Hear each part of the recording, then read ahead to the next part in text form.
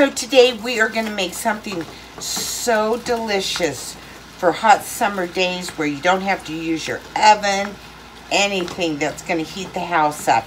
We're going to make taco baked potatoes. So right here I have a pound of hamburger that we're just going to get cooking.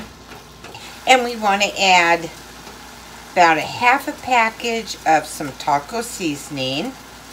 Get this stirred up. And we're going to add a little water. And we're just going to let this simmer. Okay, I washed my potatoes and dried them off. And now I'm poking some holes in them.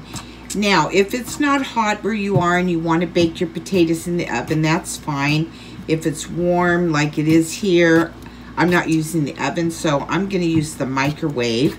And you also can just use your crock pot if you have the time and just put oil on them, wrap them in foil, and put them in the crock pot for four hours.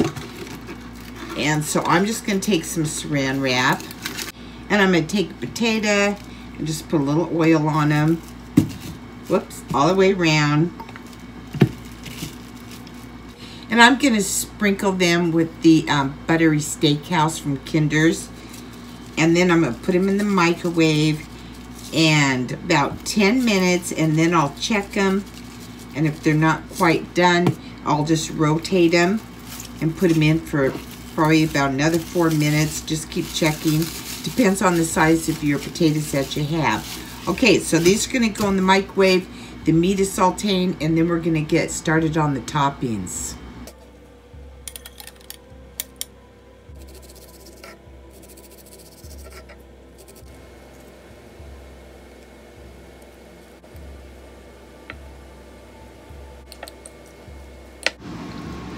Okay, so I have all the avocado ready.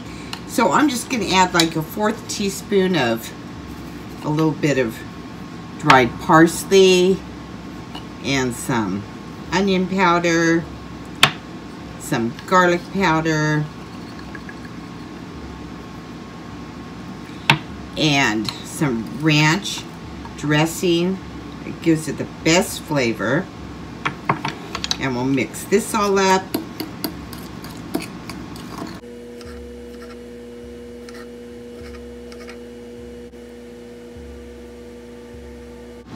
Okay, so the potatoes are done. And let's unwrap these. So you want to just loosen the potato a little bit. These are such nice meals. You could make anything inside of a inside of a potato. So great for summer, winter, anytime. So let's put a little cheese inside on the nice hot potato. Add some of the taco meat.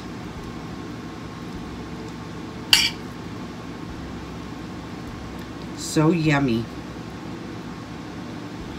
We'll add a little bit more cheese.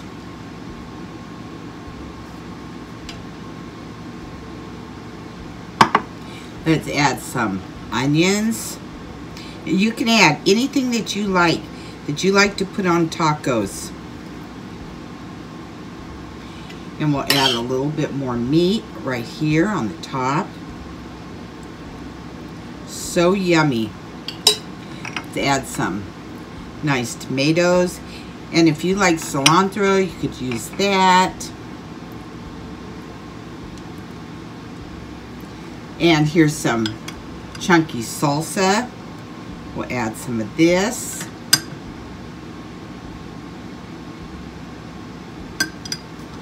Put a little bit more cheese on it. We'll top it with some of the nice guacamole. And I have some sour cream.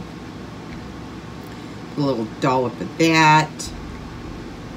And some little green onions that will top with it. And this is our meal for tonight. Look at this. So yummy. Well, I want to thank you so much for coming into my kitchen. I hope that you will try this delicious, simple meal in your home. No oven. You don't need any oven to heat up the house. We'll see you next time.